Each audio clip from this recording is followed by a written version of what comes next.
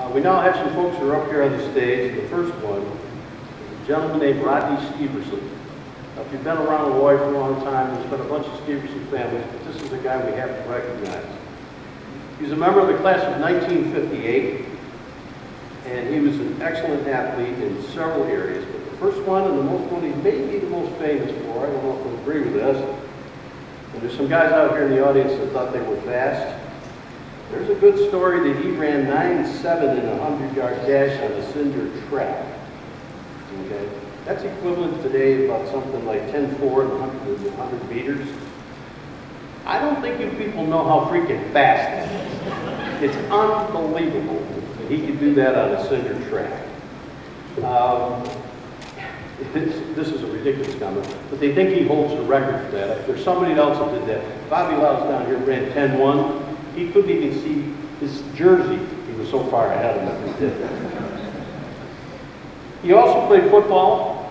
He was a great receiver from several positions, I understand it. Running back, just caught the ball a little bit too, from what I heard. And at the same time, one of our other inductees, Joe Bulldog Anderson, who was one of our, oh, excuse me, uh, was one of the first guys to go in the Hall of Fame. He was on that football team. He was a DNC all-conference football player as well. We have his family here today. They're sitting down here in front. His lovely wife is here. She's got two names. Antoinette's the one I have written down. She's got another one, maybe two or three more. We're not sure. But if you'd like to say a few words, Rodney Steverson, a true Hall of Famer.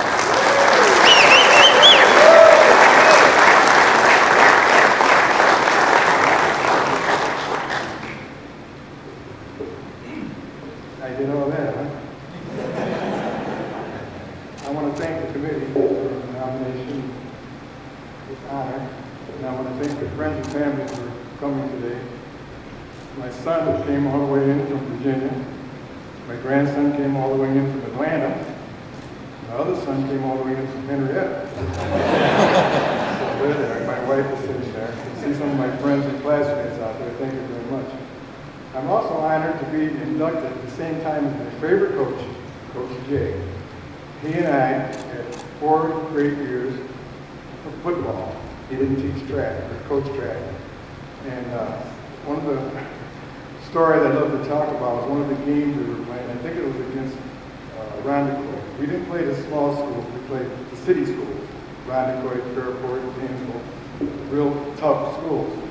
In one game, uh, they were just about to score. They were on our 10-yard line, and they fumbled, our defense recovered. So the next play, Sammy Rizzo was my quarterback. He called my number to go to the middle to the three-hole. So that was Ed Yahtzee and Fred Hawker. They were supposed to block. I was on the left side. Joe Bulldog was on fullback. Bobby Woodruff was on the right. So Sammy called my number. He hiked the ball. Joe Bulldog went left. Bobby Woodruff went left, and I was supposed to go right up the middle. I got to the line, and there was no hole. They were holding their blocks, but there wasn't any hole. So I decided to take my chances around the right end. So I went around the right end, and Dave Williams, who was uh, the right uh, end, saw me coming.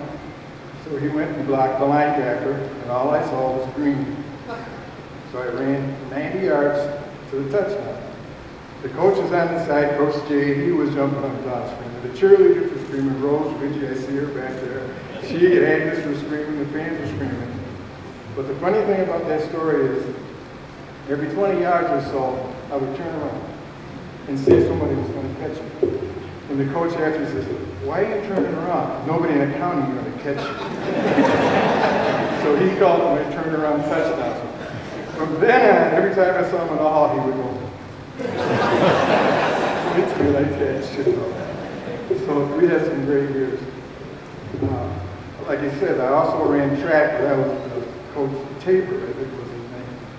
And one story I want to tell about that was before the track meet, I saw Dave Williams, the same guy who blocked me around the corner. He was pole vaulting. So I said, that looks like fun. So I said, can I try it? Dave said, sure. So he showed me how to do it. He showed me how to hold pole and run down, stick it in the cup and go over the top. And it was only eight feet, so you know, it wasn't very high. So I said, it's a piece of cake, I can do that. So I ran down there, hit the pole, knocked it back and over the top, but I landed wrong. And I twisted my ankle.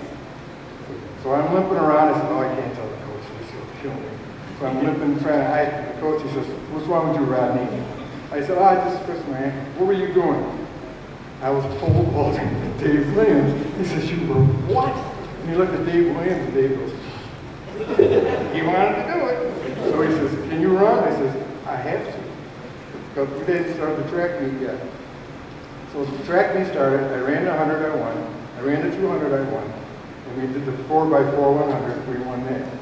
So he was happy, I was happy, and everybody went home. Nothing worse. So again, thank you for this honor. Thank everybody for coming. And, um,